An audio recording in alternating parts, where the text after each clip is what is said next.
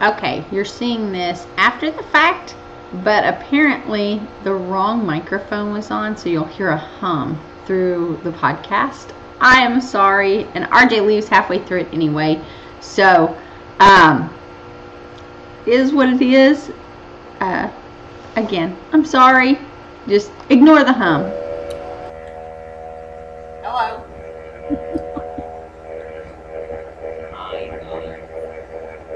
We're late. Day late, a dollar short.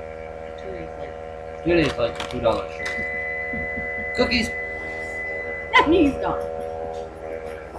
Alright, so he's just gonna put How long? Um, put in for like seven minutes. And hit the start button. Alright. Welcome to Straw Family Farm. I'm Christy. And you are?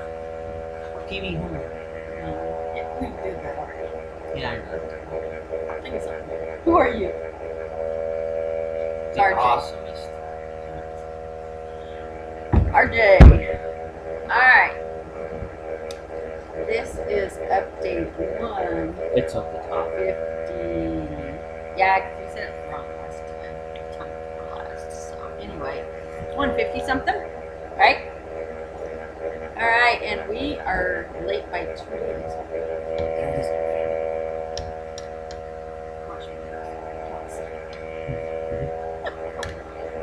So.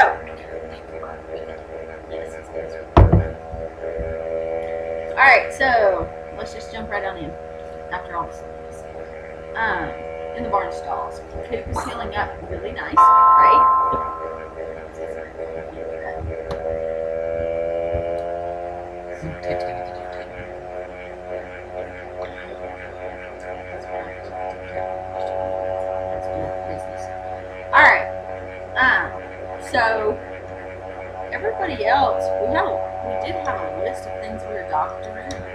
Doing all right, right?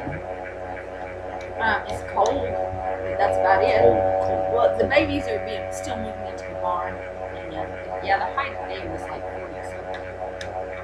Yeah. And Saturday, could be that that Saturday, huh?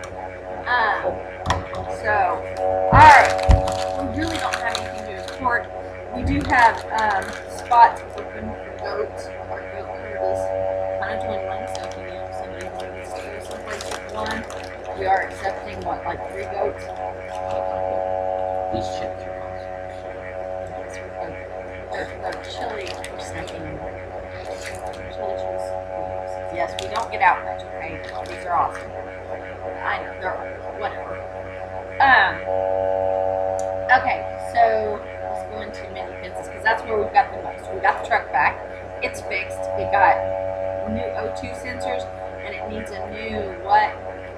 I say PVC, but I don't think so. PVC is some kind of thing. It's got a little vacuum hose that because the right is not collapsing. It makes it, I don't know, right? It's a PVC in. So it's a PVC Edison. But anyway, um, it'll, it's like a ten dollar part. I went there, didn't have the right name of it, so I had to call somebody, and then by the time I left, I didn't have the name, and so I got home without it. That's okay. It's like a ten dollar part, easy five minute fix. And then Miss Nellie will be back and running to her old stuff again, correct? So, um, she's usable. She just idles a little bit. But you would too if you'd sat for almost two months and not been used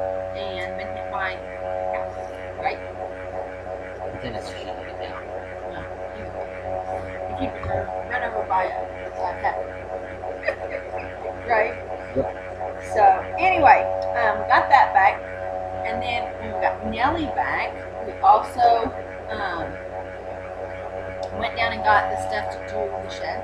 So I'm on the shed. We got some gates up. Uh, all the things that we were supposed to be doing in October, but because we didn't have the truck, we couldn't the stuff. So um, yesterday, it was supposed to be 80 degrees outside. Oh yeah.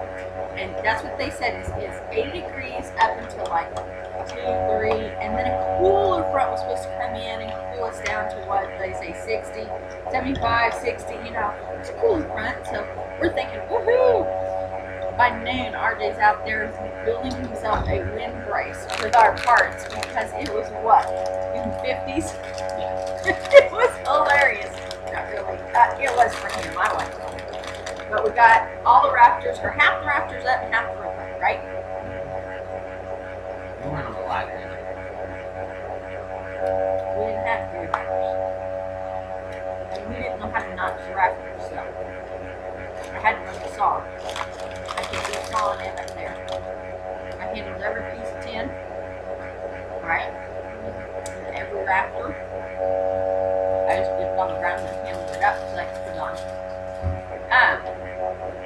But we did get the back braces done, all the headers, the So, as it gets nice and to do the side right? Um, we got the gate done. We got to improvise on one gate. We got to take down the two little things. Long story short the person that put up the original gate right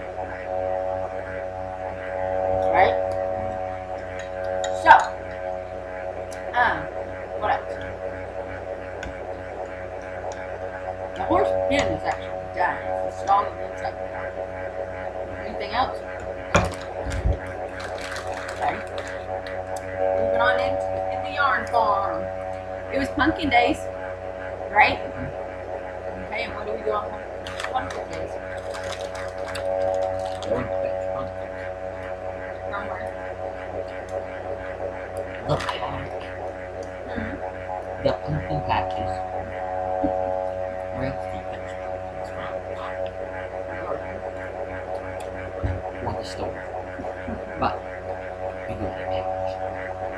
Yep, we went and cleaned up two different pumpkin patches. Um, they donate the pumpkins to us, right? That are a lot of them. Mm, I say somewhere about 30, 35 percent of them are machine, right? Um, but this year they started a new pumpkin patch who started using us to clear them away. What happens then? Okay, so I got a call from a new pumpkin patch. We had dropped off business cards and said, hey, your right yard back in your yard. You're close. We don't mind coming up here. We're going to bring you to. The other place that we do it for is a, just check it, your five, your five minutes or so. Um, the other place that we do it for is a non-profit, and they do therapeutic riding with handicapped children for horseback riding. So um, we go and clear theirs away, uh, so the kids don't have to do it. And we normally get oh half of that, not even that. Well, that one year we got the full one horse trailer full a little bit the bed of my truck.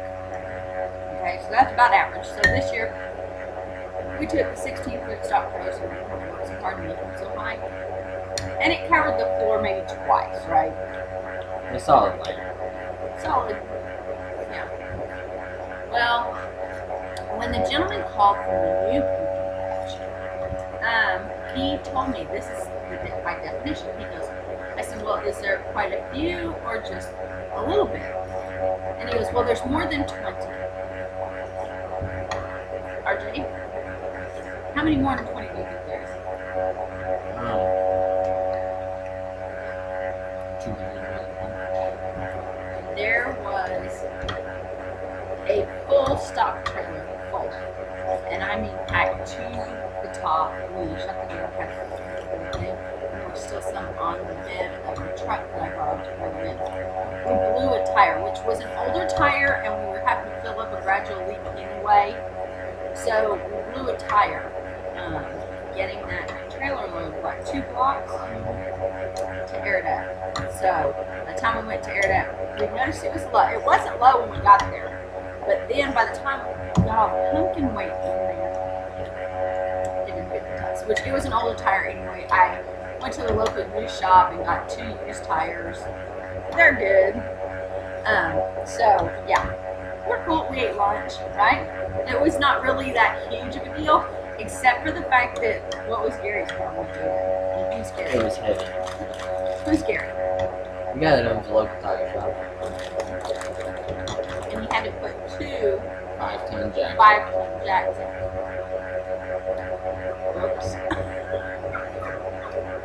he told me when I was leaving, he goes, you go slow. I like, I'll be very careful. So That's a lot of we're weight. home. And so, well, we've done it before, but boy, that was a lot of weight. And you said more than 20, they meant more than 20. And some of them were huge. And I talked to the preacher that was there because to me, um, we do this for the sheep and the goats, which is great. There was a lot of large, well-kept pumpkins at that pumpkin patch. Pumpkin patch. They put them on pallets, they trucked over them, kept them dry, um, really stored them to make them last. They didn't know how long they'd last. Kind of finding stuff out. And um, I was looking at it from a nutrition thing, going, that's a lot of people you could be feeding pumpkin pie to. So I talked to him and we separated off three that had never touched the ground, still were solid, nice, and, or no, there was five original, because he didn't know much. And I offered to do, you know, a dozen bags at least of pumpkin. Was going to do and he thought we wanted more money. So we got five of them up there, and uh, I did some for them, and one of the pumpkins, one did enough to make 18 pies, and I freeze it at two cups per bag.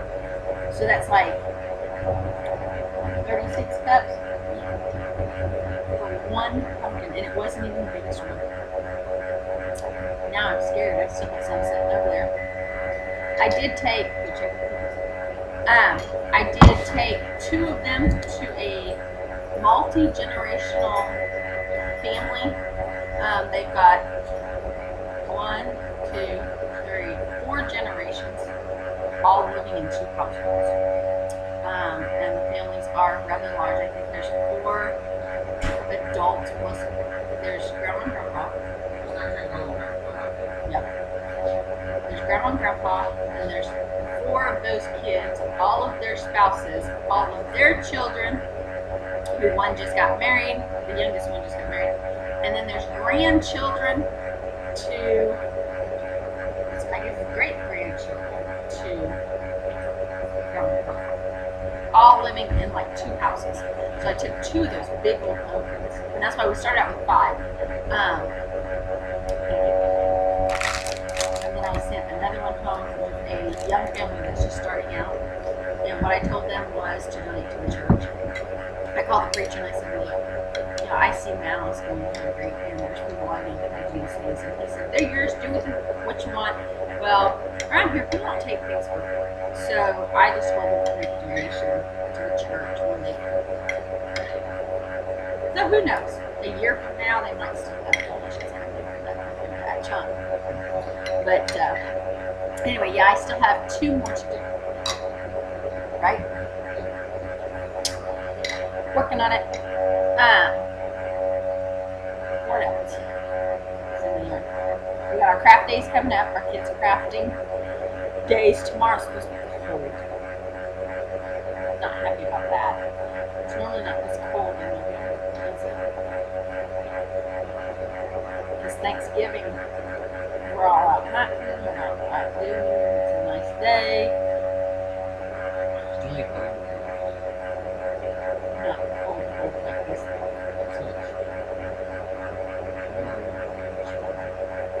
Um,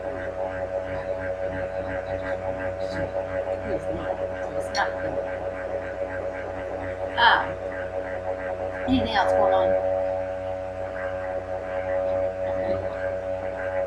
Park? Got a visit, visitor coming tomorrow.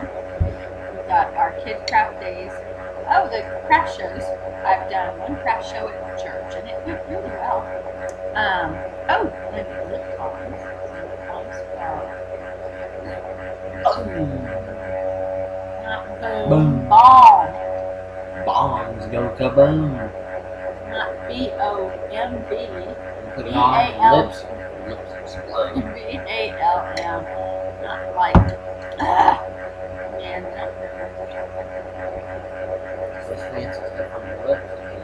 and you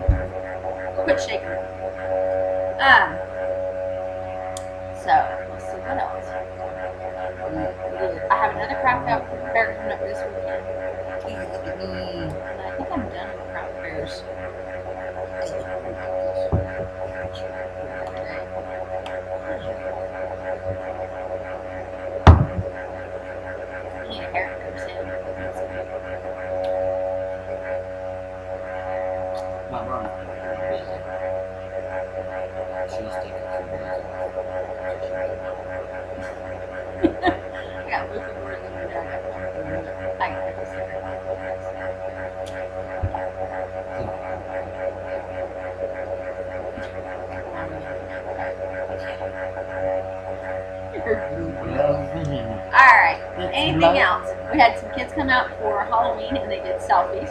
So we're still doing that um, silly selfie contest. So if you get your silly selfies in, then you can prizes.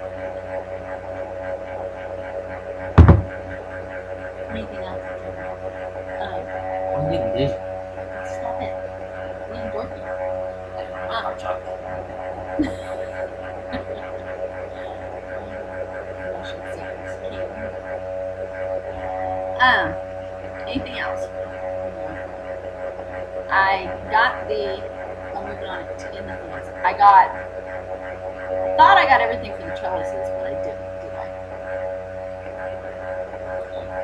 Why not? Stop moving. Um, I went and got the M2 plumber. You're dinging, aren't you? And I had Repeat written it. down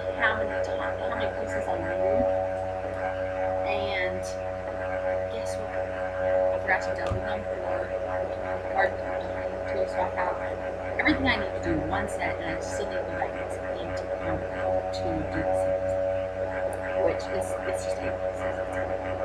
So anyway, it is what it is. Um, that'll be going up on a nice day. Um, I still have to get the soil out of that um,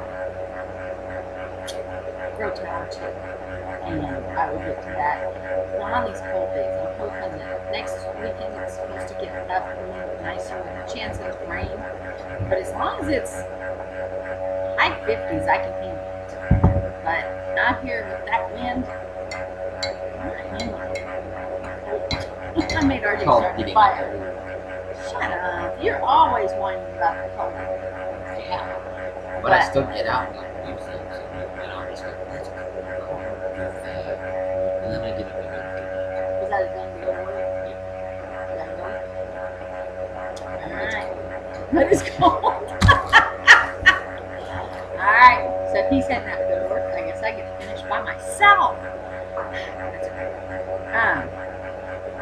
anyway, uh, so I've got the stuff to do trellises, I just don't have it done, and I don't have the EMT to get ours. I've got everything I need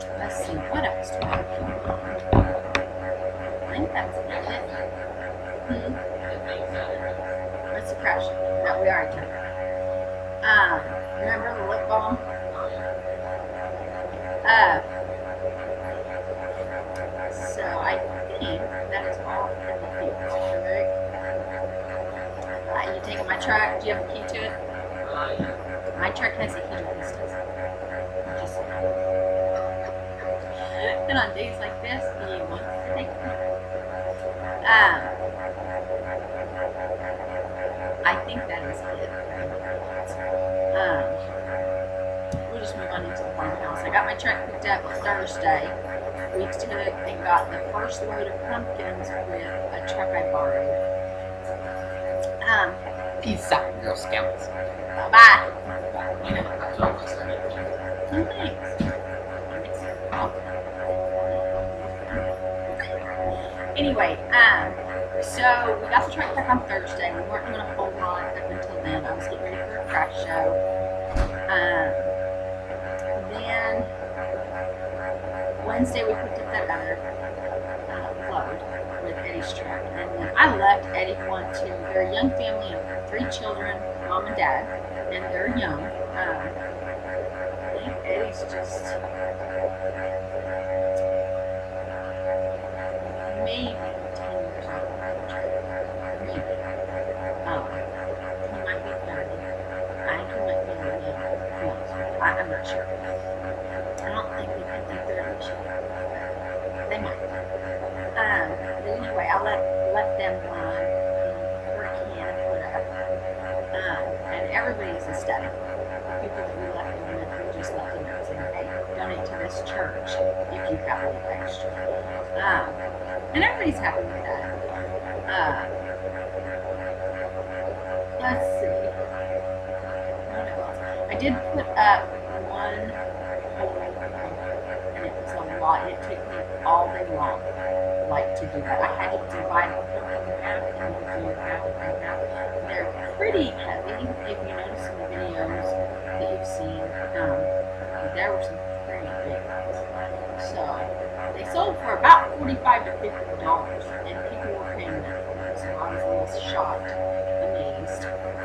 sleepy town. Um, so I put that up one day, went and got the load, got ready for the thing. Um, I did get my truck back on Thursday, and it's running a little rough. Um, when you do code, it said that my O2 sensors were off. But I figured it out. My mechanic comes out, he changed them. He goes, well, they're really not that bad. He says, "They- they're, it's 300,000 miles, so you need to really change them. And he says, but that's not what's causing this to run. And I said, okay. So he changes them. Um, and he was right. We cranked it over, and it still, it, it still was running a little rough. And I couldn't figure out why. And I said, what do you think? So he got to nosing around, and he found that one little hose to that PVC thing is collapsing. And he it probably weakened it in the wreck. Um, it probably looked fine when they redid the mechanical stuff and that anything they had to do for the truck to get it back on the road. It would have looked fine until it got warm and then it would have collapsed. He says, and that's not enough air to vacuum seal that. And I said, okay. So I tried calling, and I had trouble figuring out what the name of it was. That's what RJ has on his phone. So I had to call my mechanic back okay. I called O'Reilly's, and they don't know what this thing is, and we know we need it. And he called up there, talked to him, they figured it out, and it's ten dollar. And it takes five minutes to pop off and pop on.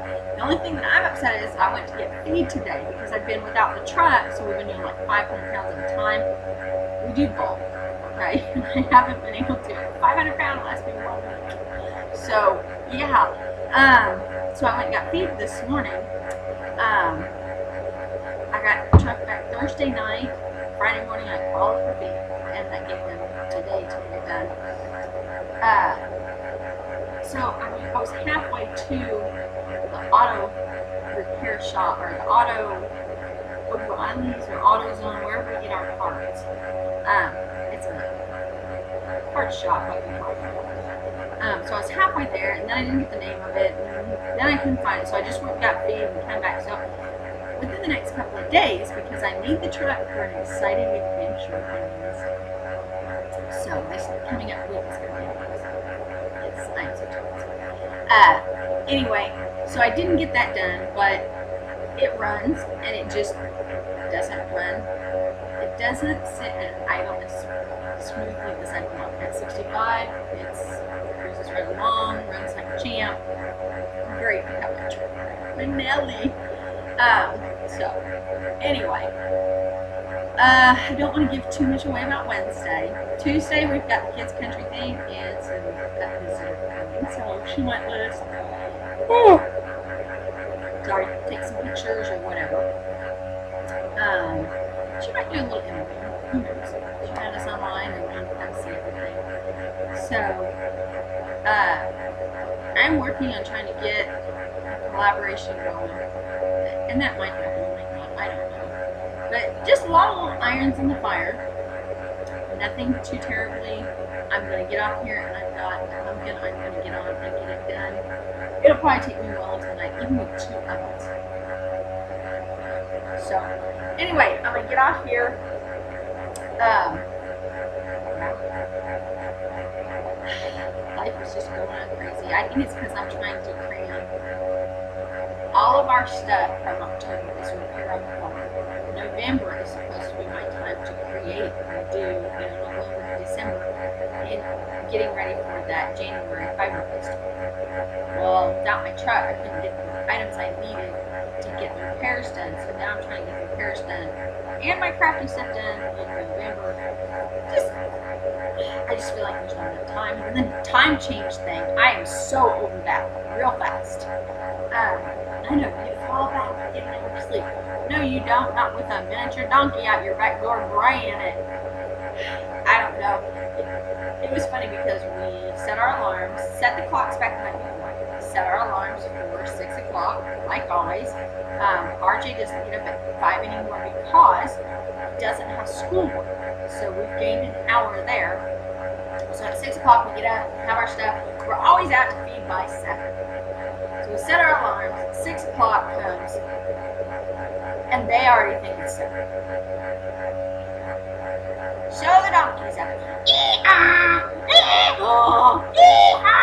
Making all of his noise.